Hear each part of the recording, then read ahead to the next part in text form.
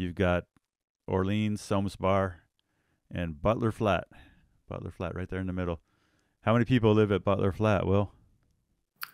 Well, in the summertime, maybe 35, and in the wintertime, about 10.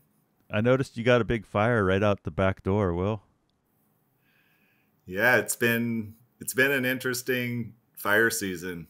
Uh, I've I've never, um, you know, these wet years, uh, the fire does so much better work. It's just kind of chewed through the fuels of the previous 2006 Somes fire that really fits that same footprint. And uh, and you know we've we've uh, it was interesting in 2006. Uh, I there was a, a, a, rainstorm right after the fire had crowned out over Somes Mountain and slopped all the way down to Butler Creek, and my friend Todd Soder and I uh, walked up uh, Butler Creek uh, right after the rain, and the fire had slopped over in a few places. And we took the garbage bags we were throwing, we're using as dry bags for our clothes, and we put out those fires. And I went back into fire camp, and I went to the IC, and I was like, "Hey, we can hold this on Butler Creek." And he said, "You're crazy. I'm not putting my firefighters in there, and if you go in there, I'm going to arrest you." And so I didn't say anything else. I went out and and rounded up these four wonderfully crazy native friends of mine, and including Hawk, who's my neighbor across the creek, and we went up and we held the fire for four days, or uh, for four lower four miles of of Butler Creek, uh, until the Plumas Hot Shots um, keyed it in from the top off Orleans Mountain. So the creek held that time, but it did cross in about ten or fifteen places. And the interesting thing this year is with really no intervention the Pearch fire stopped on Butler Creek, um, you know, cold the, the whole way down, which which was really telling of what we've seen across the board on these fires is that creeks that have never held fires before were holding fires very effectively. All right, so we're looking at Butler here. so this is a section where you guys are talking about where you held the fire in 2006. Yeah. And then did this whole area burn again in like 2014 or something? That was the 2013 Butler fire. That was that arson start that that happened uh, down off a trip point, a little bit out of the screen on the lower left. And um, yeah, it was a it was a drought year. We were in the the dry period. You can see the uh, snag patches that were created in that fire. And you know, in 2013, there was an interesting story where the the fire came down to Butler Creek from the other side, and we were hoping that it crossed because you know seven years after the 2006 Somes fire, getting fire into that uh, recent fire footprint was what we needed to maintain it. And did um, that happen? Uh, yes, there was a small finger of fire that crossed and went up to the ridge, and they ended up trying to fire out that line from Butler Flat all the way up to Somes Mountain and then over to Orleans Mountain on that north edge of the Butler drainage. But it uh, it was so moist by that time that they had to throw a ton of fuel at it, and it was a it was a dirty burn. I think uh, I think we got Ryan's uh, Ryan's layers here for that. Uh, here's what you're talking about. That green is where they tried to burn it out. Yep. Got it. Yeah, you, okay. you see where the finger came up to the ridge, and they they did a burnout above it to hold it in. Okay. All right. Well, so you were part of the firing operations here on Pearch that brought fire down Antenna Ridge from the top. So at, at that time, the fire was established out here above Pearch Creek, uh, Pearch community in the bottom. Can you talk a little bit about how you guys brought down the fire through here and kind of what the political process was? Like, how did that unfold as far as the plan getting made, and how did the plan change as you went through it? You know, in the kind of week leading up to that operation. Yeah, I, I think there was pretty broad agreement about that strategy. That was the ridge system that was used in 2006 for uh, to keep the fire out of Orleans we were so lucky to have Anna Wright, who we've who's works with the Shasta Trinity National Forest now as our division Juliet. uh, for that burn operation, and and she quarterbacked uh, the hotshot crews and the hand crews, and uh, really coordinated well with with the the community, the tribe, um, to make sure you know we did good by the, the legacy hardwoods on that line, and to discourage the use the the needless use of retardant. You know, in 2006, they bombed the headwaters of Pearch Creek, which is the drinking watershed for Orleans, with all the super, you know, tons of super tanker drops. And all that phosphorus was showing up in our drinking water at elevated levels for over six years after that fire.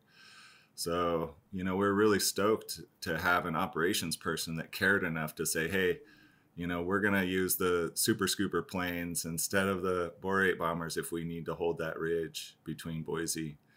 Um, you know, it was interesting. Uh, you know, El Cariso Hot Shots did the top part of the firing from up there by the Orleans Mountain Lookout. You know, that you can see the patches up there that really never burned. There's that whole belly on that north side face. You can so you can see where their fire slopped off the ridge. Um, they had to work to get that depth with the the Very pistols and the and the firing devices. But but that north facing slope without any um, intrusion didn't burn. So coming, yeah, I think that's I think that's a really yeah, interesting ahead. thing about this year is just that oftentimes you have to work hard to get these firing operations to even move off the line. Yeah, and then but the you know what I learned about hotshot crews is they kind of go at this pretty rapid pace when they're moving along lines, and and understandably so. You know, often time is of the essence.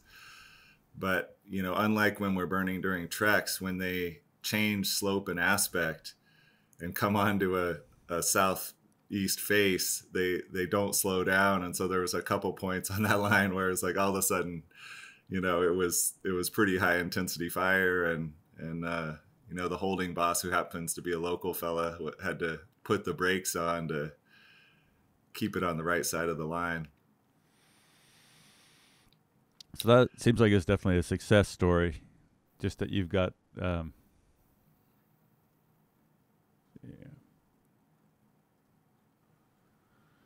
that you managed to pretty much this whole fire has not yet impacted any structures, eh? Well, you told me that an outbuilding burned uh, night before last or last night. Is that the first building last. that's burned on this whole this whole fire? Yeah. Okay, yep, so what's it. going on? So, um, yeah, so this area here above the Pearch Creek community has been cold now for pretty much since it rained. So you guys kind of snuck this in right before it rained uh, around the first of the month, right? Yeah. I remember I was, you know, corresponding with you, and I was I was worried because there was north winds forecast on the front of that, and it seemed seemed kind of uh,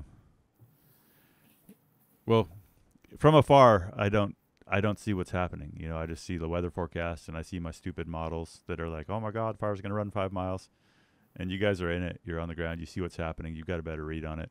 And I was I had my fingers crossed for you guys that nothing, no big dry winds would come while you guys were lighting that. What was the kind of vibe there with, you know, the forecast versus what you're seeing on the ground and making the call to keep lighting?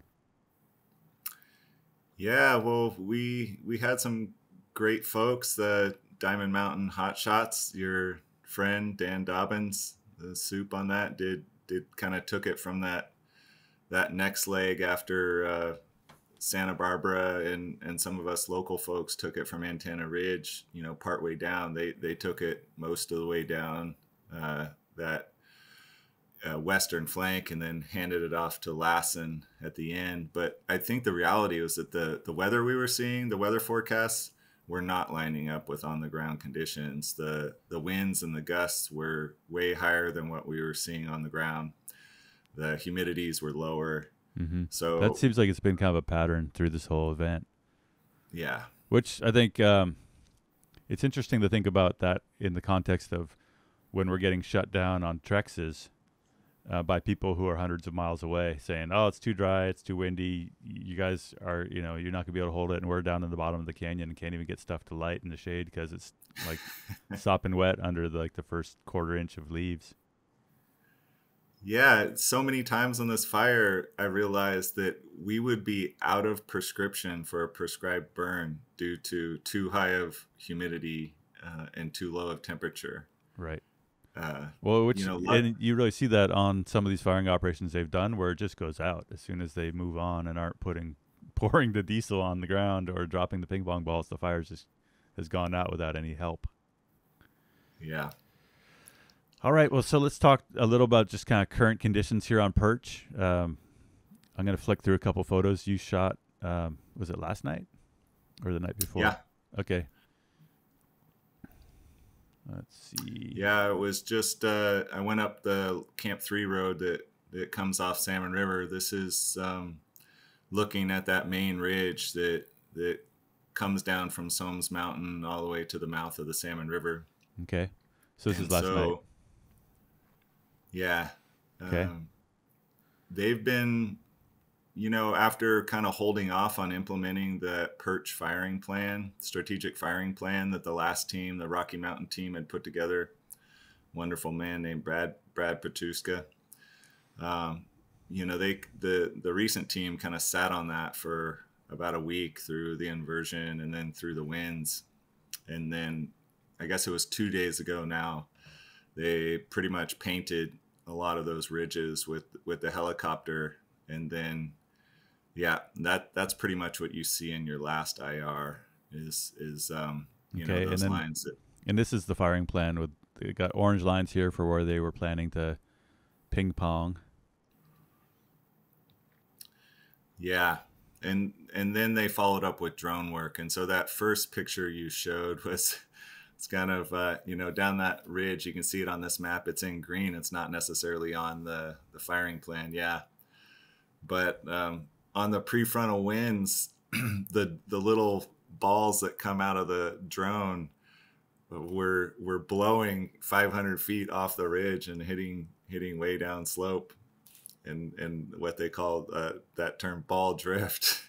Just uh, you know unfortunately it's you know there's someone's water line down slope of that and and if those uh, balls would have hit on the ridge it probably wouldn't have reached their their water system before the rains came hmm but those things are hard to predict Yeah, and we've seen that on projects we worked on. We worked on a um, a fire history project in Whiskeytown where there was this patch of old growth that got nuked in a prescribed fire in Whiskeytown in the probably in the late '90s because they it was really super steep drainage with kind of decomposed granite and not much undergrowth, and the ping pong balls rolled way downhill before they ignited. So they dropped him and they, just bounced and rolled down this like steep kind of DG gully, like a good you know eight or nine hundred feet, and then we had head fire through the stand instead of backing fire. So it killed a lot of old growth, um, which was not a good deal. But the good deal was that we had a bunch of old growth that we went out and we fell, and we got these like five foot diameter slices off the stumps to count fire fire scars. Yeah, I mean, you know, last it was really the night before last that we kind of had a scare, and and I, you know, on the ground, I was thinking that, um, you know, the fire starts that we saw at Three Dollar Bar and and uh, you know just upriver there um, by Steinecker were arson. And it wasn't until I looked at your show the next morning and saw that run that the fire had made um, you know, out of the Klamath River Canyon in Out that here. direction. Yeah. That that I and saw the spotting that was occurring, you know, because we hadn't seen hardly any long range spotting in this fire at all. So, but there's a receptive dry fuel bed in that meadow.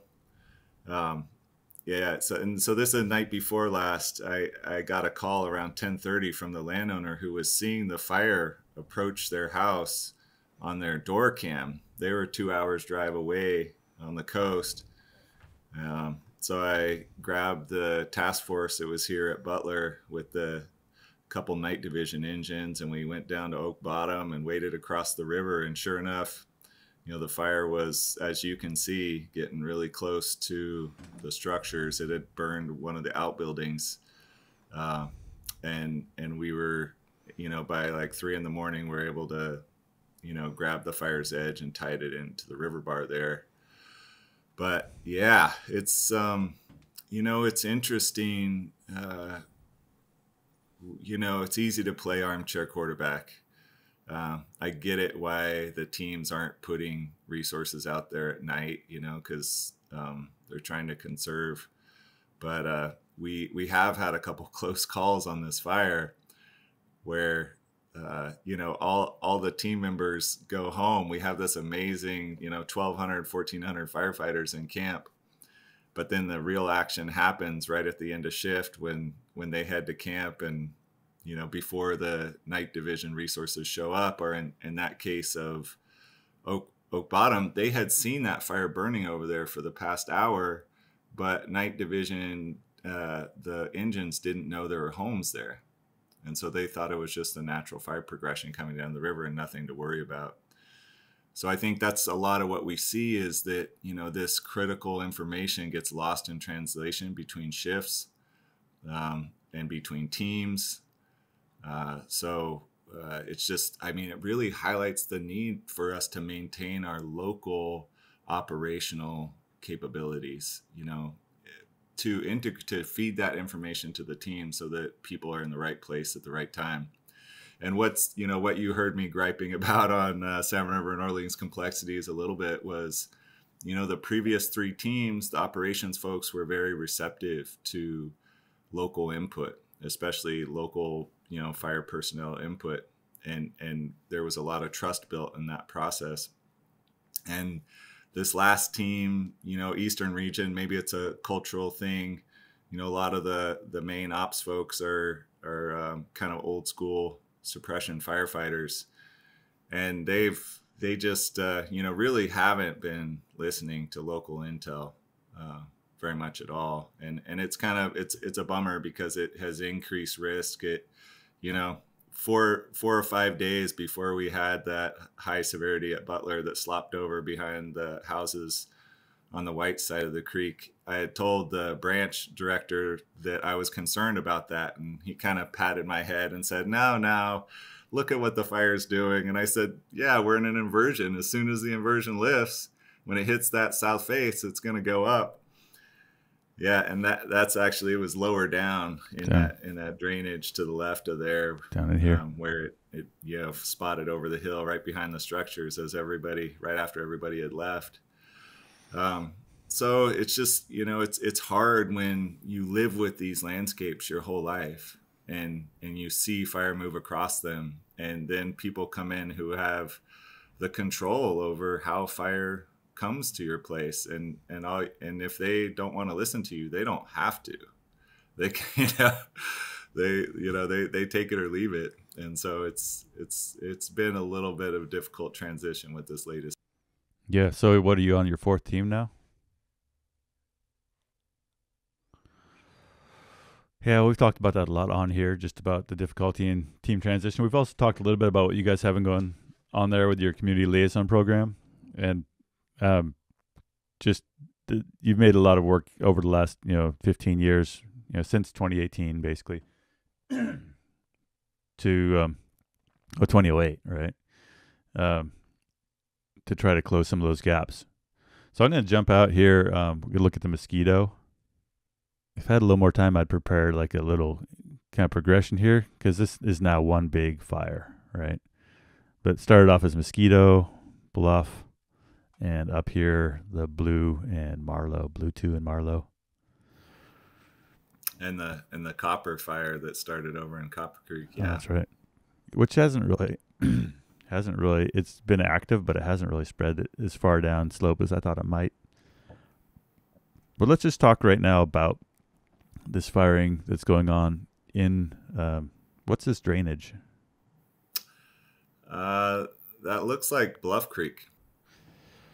All right, so we had mosquito down here, and we watched for weeks as they kind of coaxed it along and kept it tied into these roads. And we saw this firing plan um,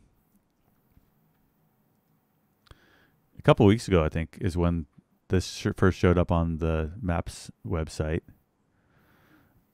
and I didn't know if they'd really get to all of it you know, just with the the weather and watching the rain come in.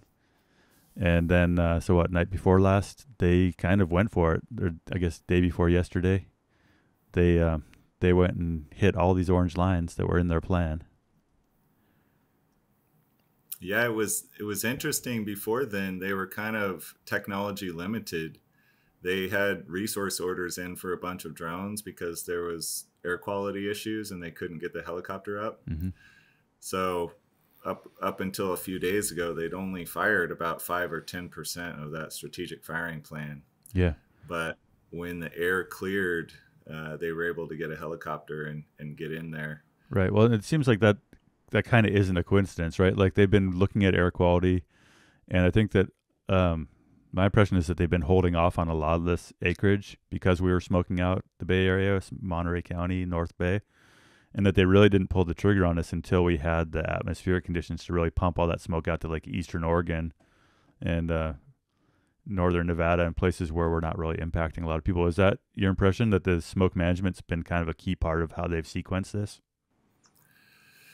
Yeah, I mean, there was definitely negative feedback. There was, I mean, we've had some, even without um, a lot of firing, there was horrific smoke uh, and air quality. You know, it's been over 1400 here on the instantaneous readings at Butler for several days, and Orleans was pretty bad as well. So, yeah, I think, you know, the interesting thing talking with the air resource advisors is they're running blue sky models on this every day um, and getting you know tons uh, tons of uh, emissions per day. It's been around 700 to 900 tons per day um, during during the inversion.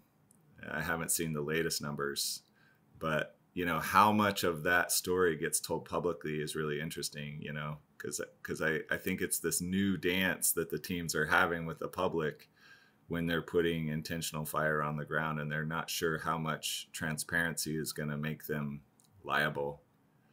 Mm-hmm.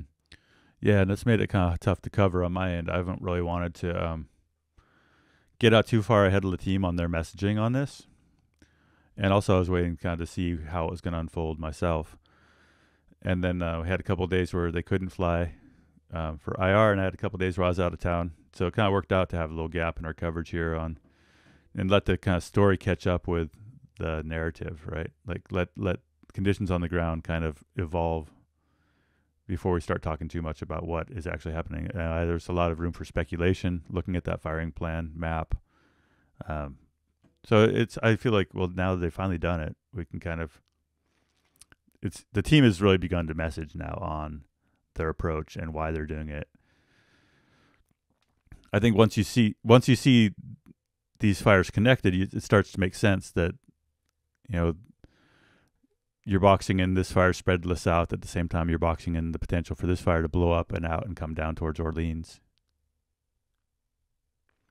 What do you think, you know, as far as us taking this kind of approach and beginning to apply it when we're not dealing with a bunch of lightning fires and resource shortages and everything else, you know, what's it going to take for us to see this kind of prescribed burning happening at this scale uh, without it all being started by lightning and being able to use kind of fire dollars and fire crews um, out of emergency funds.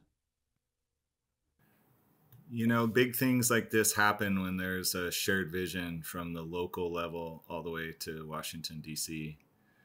And and just um, on the ground here, I know there's it's really highlighted some of the you know concerns in parts of our community. It's really polarized our community um, I've lost some friendships over supporting this strategic firing plan, you know, because um, people just don't like smoke and and they don't like humans to make smoke intentionally. You know, it damages their grapes, it damages their lungs, and you know that that argument that we're going to get that smoke one way or another, you know, just isn't at this time enough to convince them that it's a good idea. So and and also you know people within the agency, you know FMOs, um, you know local fire resources are still a little bit uncertain about this plan too. You know it's it's something new. Um, but you know I, I think when you look at it through the the, the reality that you know i mean we did this uh, analysis with you, Zeke, in 2014 and, and again in 2017 when we did the fire overlaps analysis for the 1.2 million acres of the Western Klamath Partnership. And at that time, roughly half, about 600,000 acres, hadn't seen fire in over 100 years. But the reality is, since 2017, in the past five years, about 70% of that unburned area has burned in the Slater fire, the, the McCash fire, the river complex. And those fires have burned at uncharacteristically high severity rates for, for historic fires with really severe ecological and social impacts. You know, we're seeing rural flight as, as you know, the town Happy Camp becomes a ghost town. There's no place to live. Half the town's burned down. And, and then we're seeing rivers that run mud all year long, you know?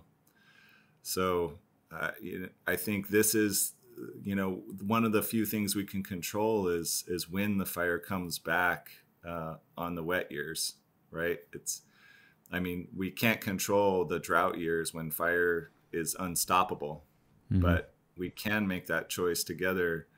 Um, and I think it's going to take some time for us to look at this example yeah. and see how it played out. I think so. I mean, I think one thing we've been covering from the get go is like here we've got your kind of landscape scale look of the Klamath, and you see all the the fire history. And the bluer, the kind of green and blues are kind of last decade and a half. But we have been talking a lot about how you have this whole pocket in here of 150,000 acres that hadn't burned for 100 years, and that how now we have really filled in a lot of that with a moderate severity burn. Fragmenting that, that you know, you still have a hundred thousand acre chunk right around Orleans, but you know, I guess one th- one, th- one thought I had on this, um, oftentimes during these operations, as it's been unfolding, was um, I hope we're not burning it not hot enough, right? I look at this landscape and I see all these clear cuts everywhere, and I know that all of these clear cuts are filled with kind of insane stocking levels. Yeah. And that um, we've got way too many trees out here. And that, so in some ways, doing everything you can to minimize fire severity with your firing operations isn't achieving the um, kind of silvicultural prescriptions we would really need to reduce the stems per acre. And so one worry is like, oh man, putting too. I mean, I don't want to. I don't want to get too deep into it. And like, I'm glad we're putting fire on this ground. But I don't think that the solution to our longer term fuels issues is necessarily surface fire for the entire landscape that doesn't kill you know, half the trees. I think that's a, that's a little, it's tough to message that. But I guess what are, I'm curious what your thoughts are about like okay it's it's great that we got a bunch of fire on the ground here, um, and we'll see once the smoke clears whether or not we you know significantly change the stocking. I think it's a real win to get fire on this landscape, whether it's low or moderate severity. The what we're seeing decadally is that that potential for high severity is shifting to the west towards the coast with the drying trend. So this this landscape is in the gun sights of climate change and fuel accumulation. So having this these fires in this landscape now saves those legacy trees for those those future fires. So I'm I'm less and I and there there has been uh, some mixed severity in those in those areas um, uh, from reports of folks that are doing those fire operations or are on crews. Mm-hmm. Um, you know, I think it is a healthy mix of low and moderate severity. Now, now that said, you know we've we've all seen this fetishization of fire. You know, people you know only doing prescribed burning once all the fuels are pretty much gone and you're burning this two inch layer of of pine needles or whatever leaf litter on on the ground and it's not affecting the canopy which is in some cases the real problem. Right. You know these this thicket of fir trees and tan oaks the the wetter site species that have invaded everything during the fire exclusion era um, ecologically, we need to get rid of those in places. So what you're saying, though, in the bigger picture, is just that we don't see a lot of large fire history here, kind of between the um, Siskiyou Wilderness and the coast, because it's been traditionally wetter and cooler, and that with climate change, you're thinking that we're starting to see more fire pushing into that kind of fo- fog influenced coastal zone. Absolutely. Yeah, and and I mean the August complex was a good example of that. Um, I mean, you could even say the Smith River fires were this this year were another example. Yeah.